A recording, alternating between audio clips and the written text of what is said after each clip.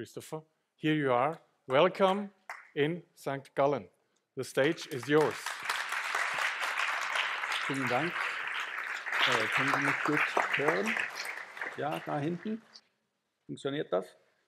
Ähm, leider, ähm, äh, Entschuldigung, äh, am Anfang, äh, vielen Dank für die Einladung, hier äh, zu sprechen. Es freut mich sehr, äh, beim Tipo St. Gallen zu sein.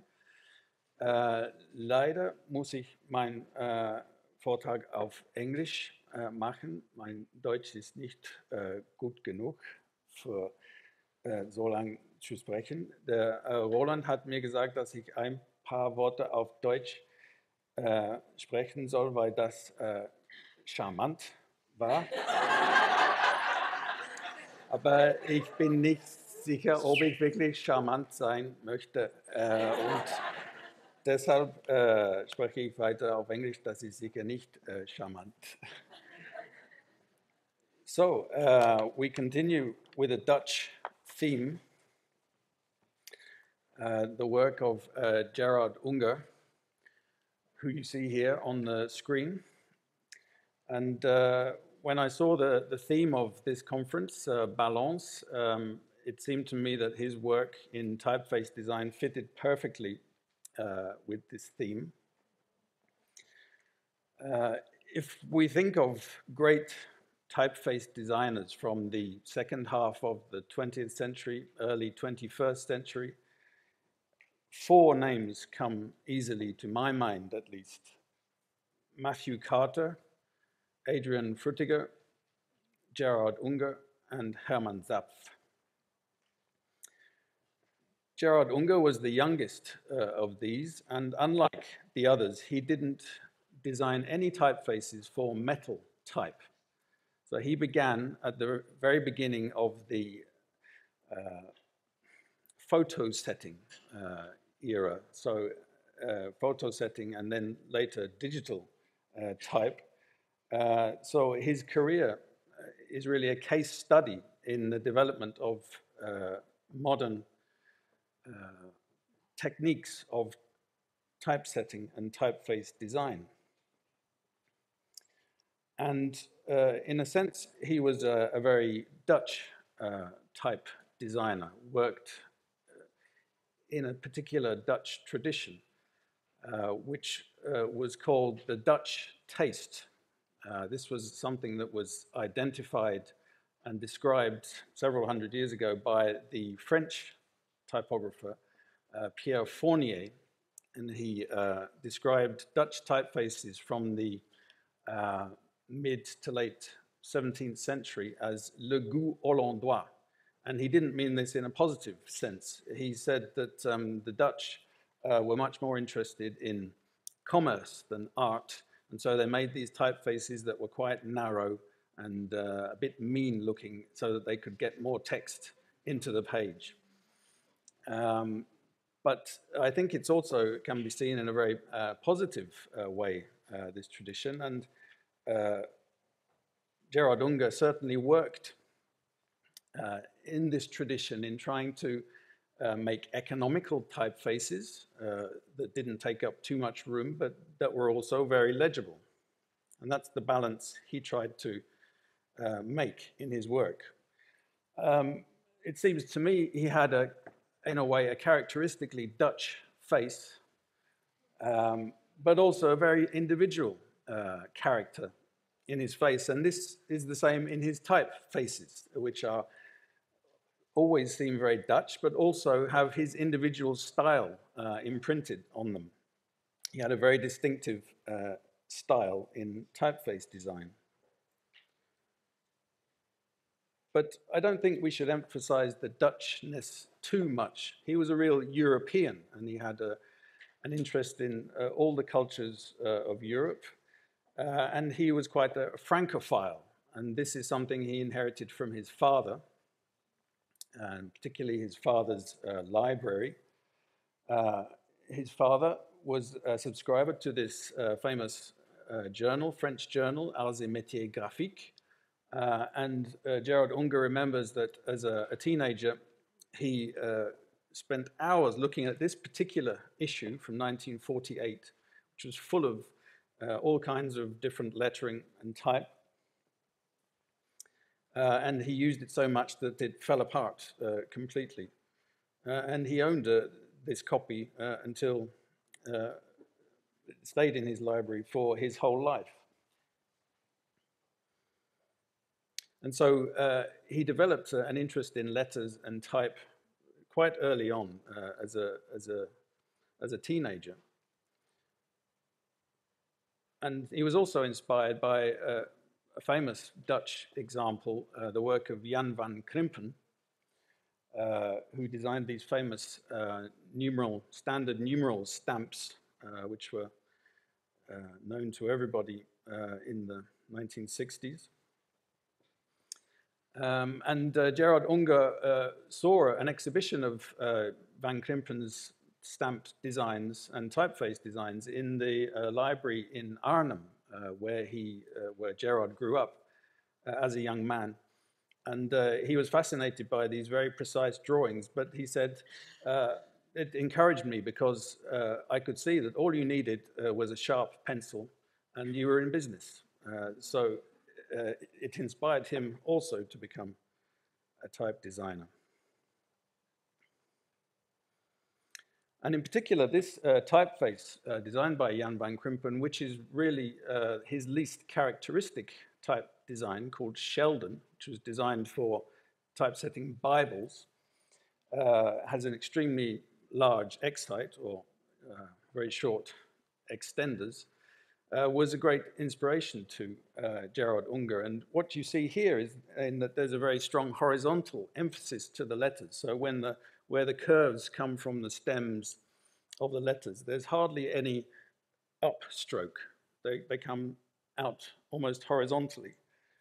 This was a, a feature that Gerard Unger made his own and was convinced uh, made typefaces more legible. But it didn't only come from uh, this Dutch tradition. it's also to be found in the work of a, another typeface designer who was very important for Gerard Unger, the American designer, William Addison Dwiggins. You see a, a drawing on the left from Dwiggins' typeface from the 1930s, Electra. Uh, and you see, in a sense, the same uh, shape being made where the pointer just happens to be uh, there um, in the um, in the equivalent letter on the right, which is Gerard Unger's um, first major typeface, uh, Demos. I should use this. Oh, it's the pointer. Yeah.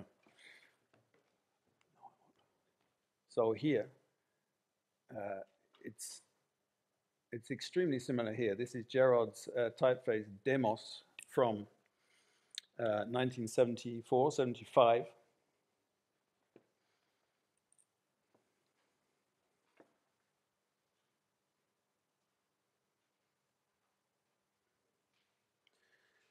So uh, to go back a little bit, um, this is Gerard Unger's uh, student identity card uh, from the Kunstnijverheidsschool, the uh, applied art school in Amsterdam from the mid-1960s, uh, which a few years later became the um, Gerrit Rietveld Academy, which it still is uh, today. And when he was a, a student there, uh, he told me that uh, he, his teachers, there were two um, factions or two tribes of teachers, let's say, a strong modernist uh, faction, traditional modernists, uh, and some classicist uh, tendency also. And uh, he was he felt like he was forced to choose between them. He either had to be a modernist or a classicist, and he didn't want to choose. He wanted to take something from both of them, uh, which is another way I think uh, his work exemplifies a kind of balance in that he wanted to find a, a middle weg uh, between uh, modernism and classicism.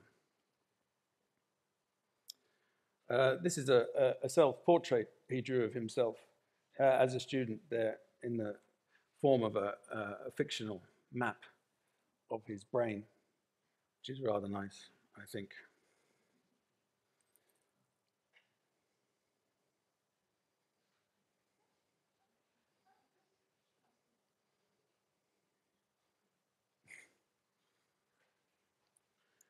And even then, as a student, in his first year uh, at the uh, Applied Art School, uh, he decided he wanted to design a typeface. He was the only one of his colleagues who, who did this, and that uh, on the top is his student typeface design uh, from his first year of study. And um, underneath you see his final year project. So in his third year of study, he uh, also designed a typeface which was intended uh, for cutting uh, signs in plastic, uh, which is a theme he came back to later. So he was uh, convinced he wanted to be a typeface designer, although that wasn't really an available option as a, a career path uh, in those days. But luckily, um, direct from graduating from the uh, Applied Art School in Amsterdam, uh, he contacted uh, Wim Crouwel, who was then uh, already a famous um, graphic designer uh, at uh, Total Design in Amsterdam. And um, there was already some publicity about this famous new alphabet that Crouwel had designed. It hadn't yet been published, uh, but people uh, knew about it and it was causing some fuss. And Gerard decided to uh, call him up and ask if he could show him his work, which he did. And uh, Crouwel invited him to, to work with him as his assistant, uh, which Gerard did uh, for six months. and during that time, um, Crouwel, who sounds like a very generous man, encouraged Gerard to make a, a counter proposal to uh, this alphabet, which Crouwel always said wasn't really intended to be a usable alphabet. It was to excite um, discussion. And so he encouraged this discussion, and uh, in the same series of square publications, in the same year, 1967, a counter proposal was published by Gerard Unger, only four pages, uh, handwritten and typewritten. And uh, this was what was inside, uh, trying to uh, design more traditional letter forms to fit with the, the technology that uh, Crouwel was uh, talking about, which was the cathode ray uh, typesetter, cathode ray tube typesetter, the first generation of digital typesetting machines which broke letters, smooth outlines into pixels. And so the, uh, the text that Gerard wrote on the right there in English is very interesting um, because he was 25 years old, fresh from the academy, and it seems like he really knew or had uh, confidence that uh, he was going to be a type designer. Uh, and so, and he was daring enough to contradict uh, his mentor, Crouwel, and say he, he said, saw there's no reason to develop a new alphabet and uh, he says that uh, in the second paragraph, machines have been designed by uh, technicians to achieve a fast composing speed. This was their concern. Letters are my concern, which is a very precocious thing to say for someone uh, who had no real prospect of becoming a type designer uh, at this stage. And indeed, later, Wim Crouwel uh, commented that Gerard had turned his idea into usable, readable uh, letter forms, which uh, Crouwel's original proposal had not been. But uh, Gerard uh, wanted to try other things. He only worked with Wim Crouwel for six months and then decided to go and work in advertising uh, because he'd only heard bad things about advertising from his teachers and decided to see if it was so bad. And he worked at a, an advertising agency in uh, Amsterdam called Prad, uh, which had a, a, connection in London with uh, the London Press Exchange, where he was sent for several months, as you see here, in 1968, uh, to learn to become a type director, whatever that means. You have to wear a suit, obviously, to be a, a type director.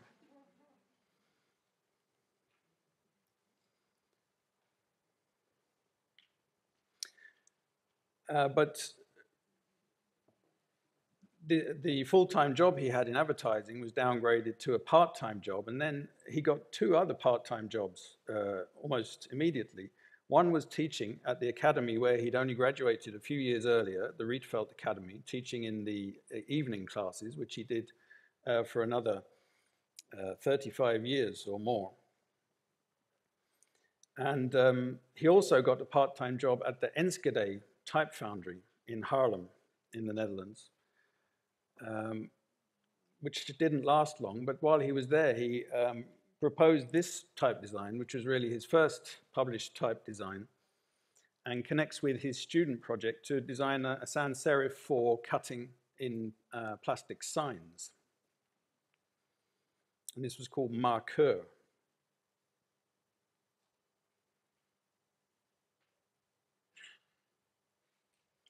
And uh, all, all the time uh, in his uh, spare time, uh, he was developing ideas for new typefaces and sending them to companies like Monotype and uh, Dutch type foundries, trying to uh, see if they were interested in publishing them, which they weren't.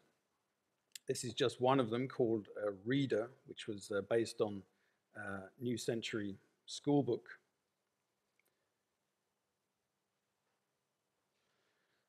And also uh, in the early 70s, uh, he was doing a lot of research about the new uh, typesetting techniques, technologies of uh, cathode ray tube typesetting, the, the first generation of, of digital typesetters. And as part of this, he um, started going to the ATypI congresses. Uh, and uh, this shows a picture of the A-Type or ATypI a working seminar in Basel in 1974. And here you see uh, some people you may recognize. Um, on the right, talking is uh, Armin Hofmann.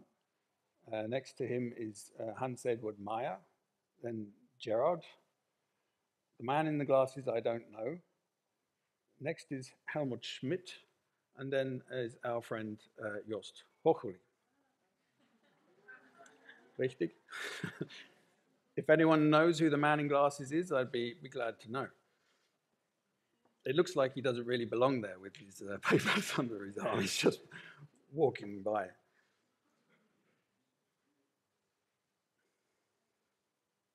So the, these congresses were very important uh, for Gerard. Something else interesting that happened around the same time, 1973, uh, he joined with a, a, a student colleague of his, uh, Paul Mijksenaar, who became a very famous information designer, and they formed a, a consultancy called Sign Design, uh, which never really got anywhere or did any significant work. But uh, they had an idea uh, to uh, make a pitch for signing for the new uh, Pompidou uh, Center building, the, the Beaubourg Center in Paris, which was still then in construction in the early to mid 70s. And uh, Gerard went to Paris and he talked with the architect, Richard Rogers, but told me afterwards that he didn't understand what uh, Rogers was talking about uh, in terms of this building. And uh, the Dutch uh, pitch wasn't successful, they didn't get the job. Uh, but the designs that Gerard made seem to me very interesting. It, it, there's this theme which comes up again and again in his work about isolating segments of letters, breaking them down into components. So here was an idea to, uh, to have the components of the letters uh, assembling and disassembling themselves, which would have been better than the actual signage that was originally uh, made for the Centre Pompidou. So this is 1973-74. And around the same time, the other thing that uh, Unger and Mijksenaar were asked to consult on was a new signing system for the Amsterdam Metro, including a new typeface and a new uh, design for the illuminated signs. And uh, Gerard uh, designed this typeface, uh, which was called uh, MOL, or M-O-L, for the Metro system. And uh, because he knew that the, the letters would be backlit, so they would be uh, um, very bright, shining through a dark uh, background, he, had the, uh, he knew or he sensed that the edges of the letters, any sharp parts of the letters, will be rounded off by this effect of halation of the light. And so he des- decided to make the letters round uh, in any case, so uh, as to control the way that happened. Uh, and this drawing, in a way, looks very dated, rounded type, 1970s. Uh, but I think it was very effective on the actual signs.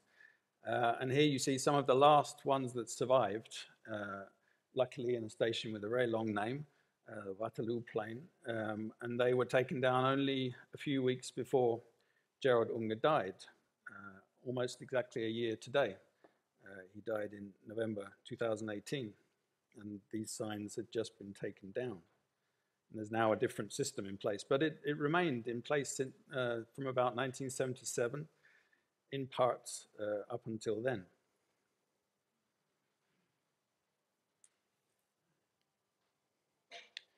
Uh, but in the meantime, uh, Gerard Unger wanted to design types for these new um, typesetting machines, these new digital typesetting machines. And having done lots of research and reading about the technology, he thought he was ready.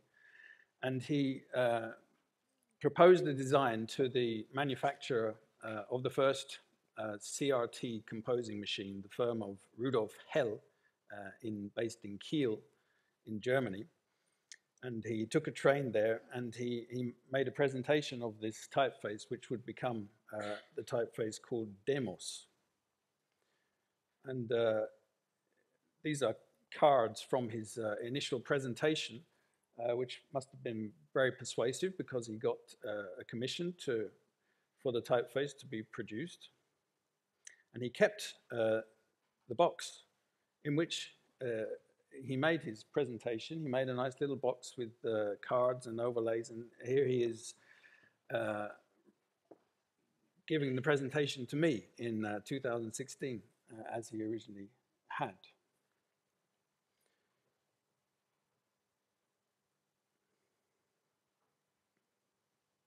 I should have said at the beginning that um, in the last uh, two or three years of Gerard Unger's life, I, I um, was, was researching and writing a book about him, which I hope will be published soon. And I had privileged access to his archive at his house and was able to discuss his work with him at great length over some very good food uh, as well. But the thing is that, you know, even though he was designing letters for uh, digital typesetting, he knew they would be broken up into pixels he hadn't really fully understood that. And after his presentation had been accepted, he was handed this grid and said, Now, this is what you need to draw your letters on.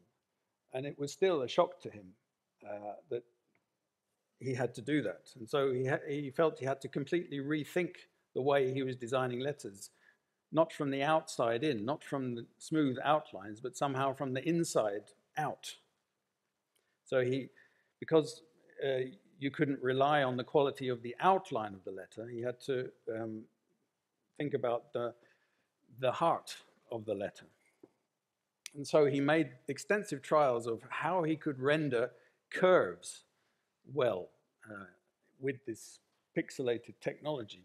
Uh, and he's put across by the one he thinks works uh, the best.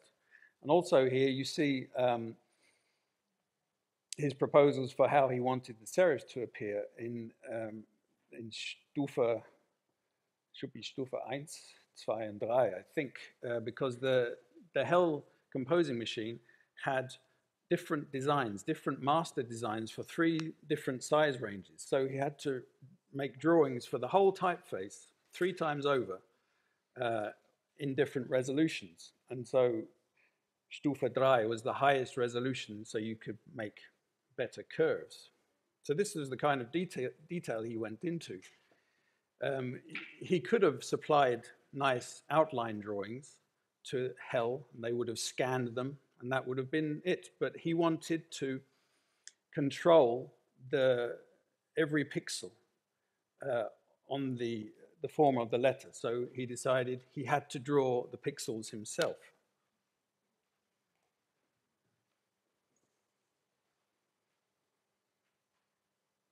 And these are trials for uh, designing in this new way.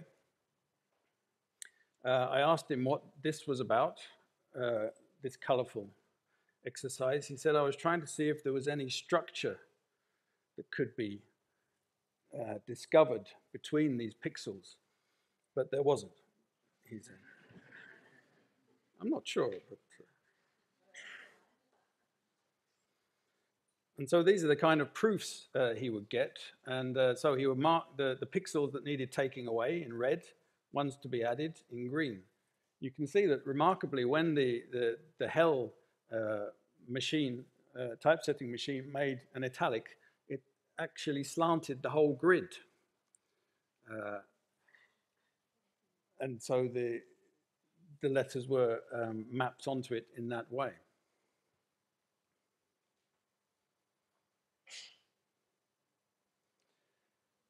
And so here you see on the left, these are the final drawings that uh, Gerard would send to the type foundry. So he would draw very carefully uh, pixelated letters because he wanted to control the exact form that came out of the other end. It was a, a matter of quality control for him.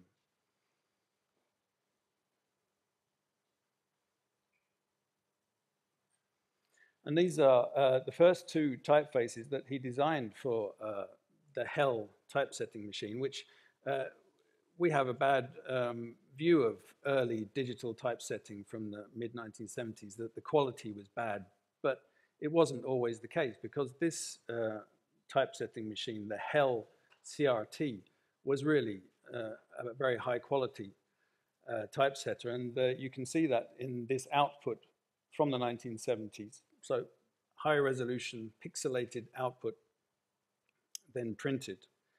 Uh, and this, this is the Demos and Praxis types, which are uh, the related serif and sans serif types that uh, Gerard designed, which was actually quite an original idea uh, in the mid-1970s. I don't think there had really been a related family of serif and sans serif types up to that point.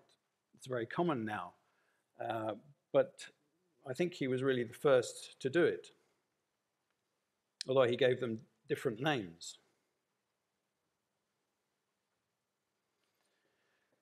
And then came a, a, third typeface in a kind of a loose family, which was even more original, uh, which was based on a kind of what he called modern calligraphy that he'd been developing since around 1970 using a felt tip pen. So not with a broad uh, cut pen which means that uh, he used to argue a lot with the uh, famous uh, Dutch calligrapher Gerrit Noordzij, uh, who hated what Gerard was doing uh, with felt tip pens. and this, he, this was combined with a, an idea to how to program a computer to actually draw letters intelligently. Uh, so he was dreaming, really. This was before the first uh, outline uh, digitization uh, software was, was invented. But he got very heavily into this idea of how to mathematically uh, encode curves. Uh, but what came out of this was, was a more traditional uh, typeface based on this um, calligraphy that he had been practicing. And here you see some early versions of it. But still, uh, because he knew that there were these such strong restrictions in terms of the actual uh, output technology uh, of the typesetting machine, he felt he couldn't really make uh, the shapes he wanted. It had to, he had to make it more upright because uh, slightly uh, diagonal strokes were problematic um, so it took years for this to be produced uh, from his early sketches until the mid-1980s, trying to work out how to produce this uh, weird kind of letter form, which is a, an almost upright cursive sans serif. I don't think there had ever been uh, a typeface like this one before. And unlike uh, almost all of his other types, which have this characteristic I explained at the beginning, where there's this very horizontal emphasis that there's almost no upstroke uh, of uh, in calligraphic terms. Here, there is an extremely strong upstroke. You know, it comes right from the bottom of the stem, so it's a real anomaly in terms of his uh, type design work. And this typeface uh, went on to be called uh, Flora, named after uh, his first daughter, uh, who was born in 1983, and the typeface was released uh, a year afterwards.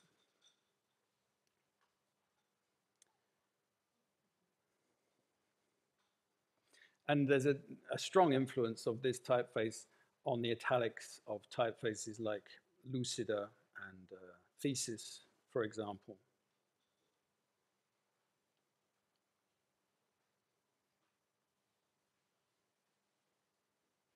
And, and at this time, he was invited to, to give an exhibition about the, uh, the work he was doing uh, at the uh, in, in Amsterdam at the uh, Stedelijk Museum. And he, it's a very interesting exhibition. The, the, the panels still survive. And he developed this kind of alternative theory of writing uh, in a conceptual sense, whether done with a, a pen or by a machine, because all of the techniques that he was using seemed to have in common that they produced a, uh, a uniform dot or pixel uh, or a line uh, which could be moved in a certain direction. So it was a kind of alternative theory to writing uh, that his contemporary uh, at Noordzij was developing around the same time. Much more uh, dependent on the technology being used, uh, which was always a strong concern of Gerard Unger to, to make the best of the technology being used. But after all these uh, battles with new technology and with low resolution uh, digital typesetting, he could see, uh, as you can see from um, this drawing here, which is obviously for the Ikarus system of digitization, so which was then very new um, in 1980 of encoding the outlines uh, of um, letters um, and storing those instead of storing the letters as bitmaps, which is what he had been doing uh, previously. He could see this uh, coming, and so he decided to do something more elegant and more humanist. He wanted to make something more beautiful and not just grapple with the problems presented. And so um, this shows a sketch of uh, he's making over the famous uh, Janson types uh, by Nicholas Kis, uh, which are a famous example of this Dutch taste in uh, type. Uh, and this is the typeface that came out of that, um, called Hollander, very elegant typeface. It's not really in this 17th century tradition of the Dutch taste. It's much wider and seems to be filtered through the work of Jan van Krimpen.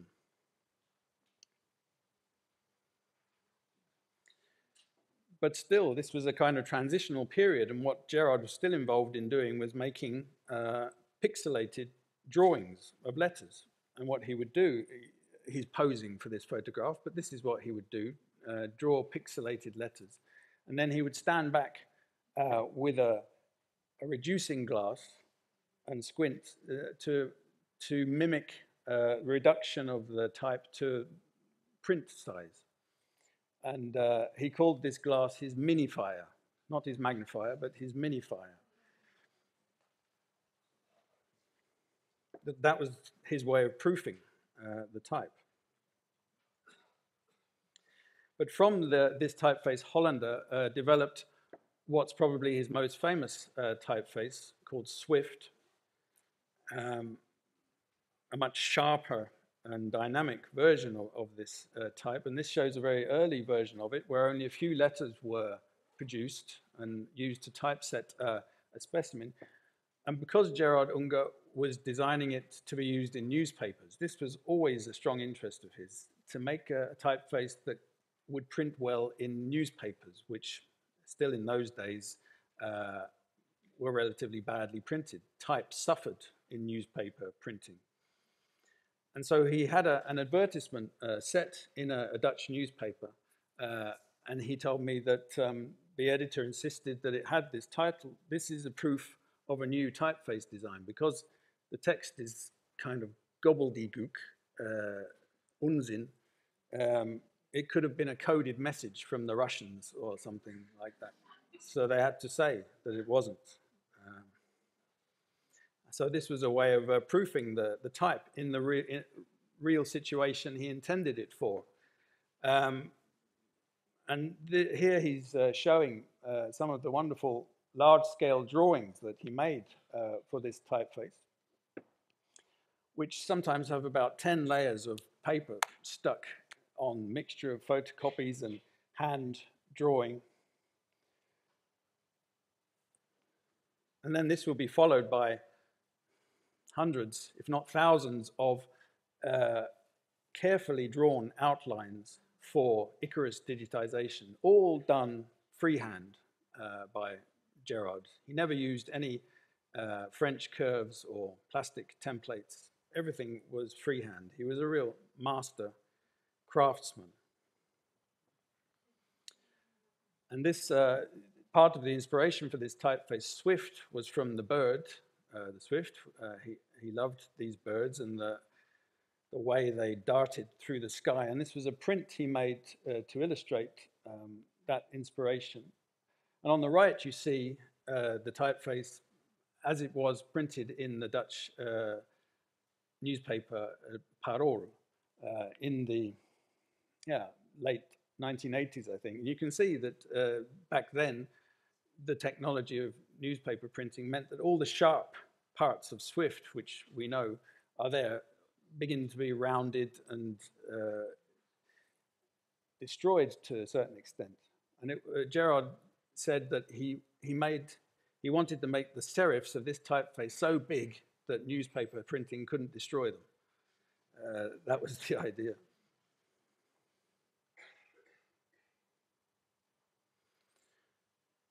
So all these types I've been showing you so far were designed for this one company, the, the Hell, the firm of Hell in Germany.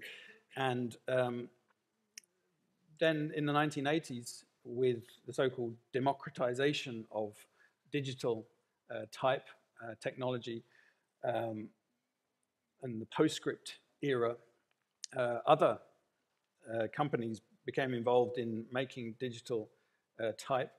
Uh, one of them in America was Bitstream, which was co-founded by Matthew Carter.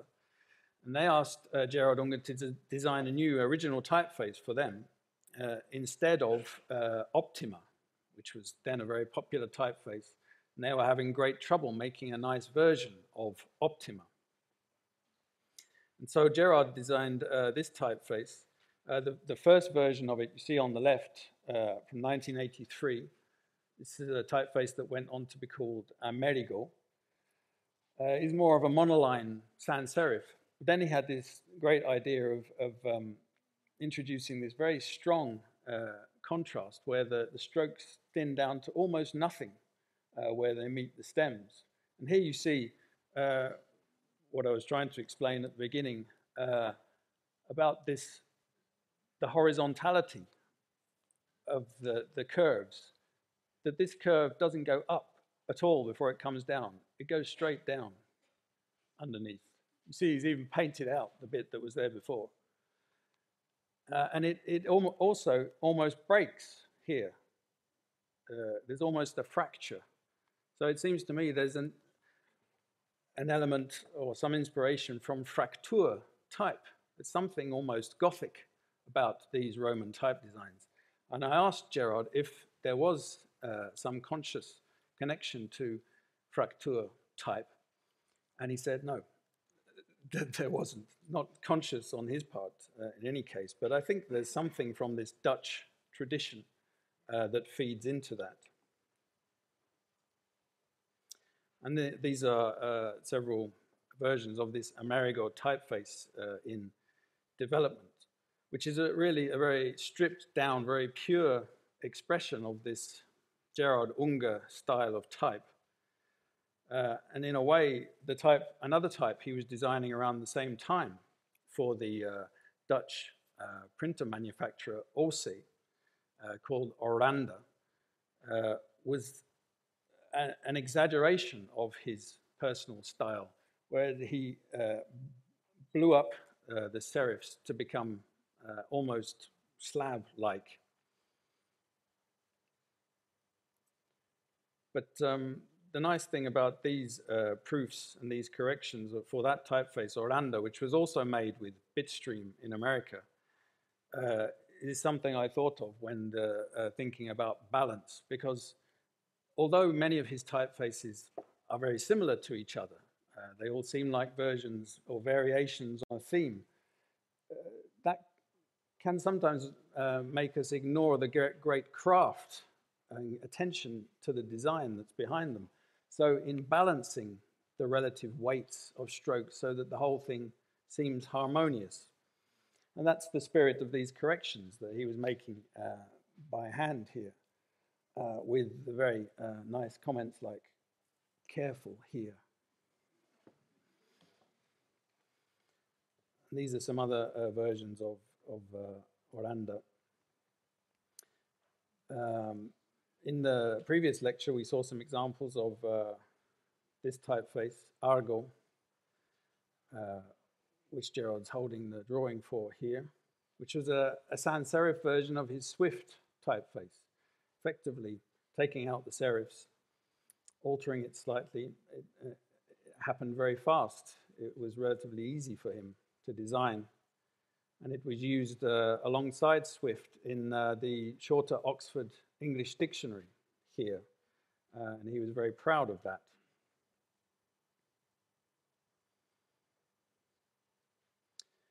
All, all the time uh, he was uh, still uh, working with very strong restrictions on technical restrictions. For instance, here, designing a type for uh, screen displays for Philips with a really uh, coarse uh, grid, still problem solving. I mean, he considered his job uh, in type design really to be a problem solver. But uh, he, he wanted to do something completely the opposite of that, and this took him to uh, the beloved Dutch tradition of chocolate letters. As you may know, on St. Nicholas Day, chunky chocolate letters are given uh, as a present. Uh, and he decided he wanted to design some chocolate numbers, simply because there had never been uh, chocolate numbers. Here you see him with some chocolate molds on the wall behind him. This was the early 90s. Um, apart from type design itself, um, he did a lot of lettering for very public uh, commissions, such as commemorative coins in the Netherlands. Um, and uh, the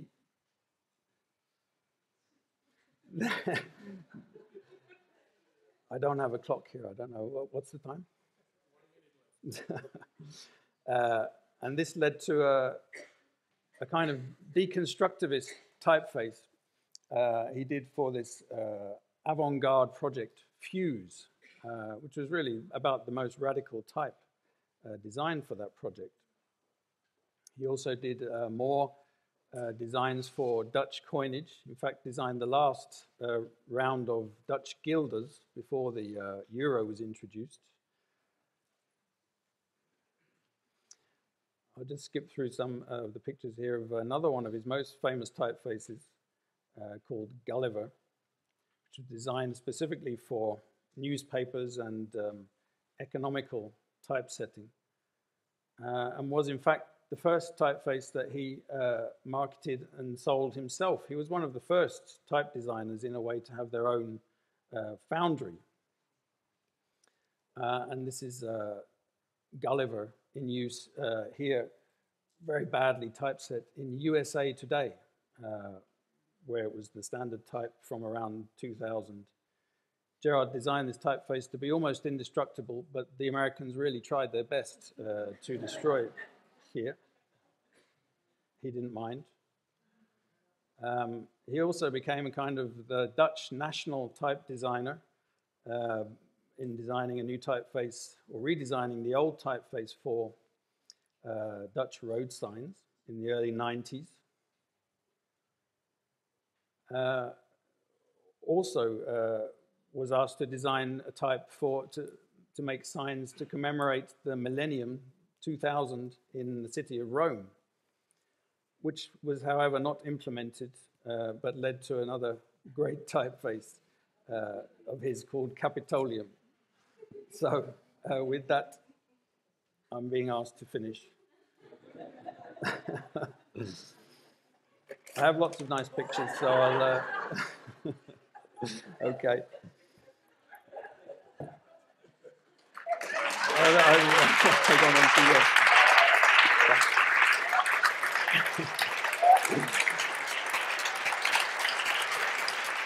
Thank you very much.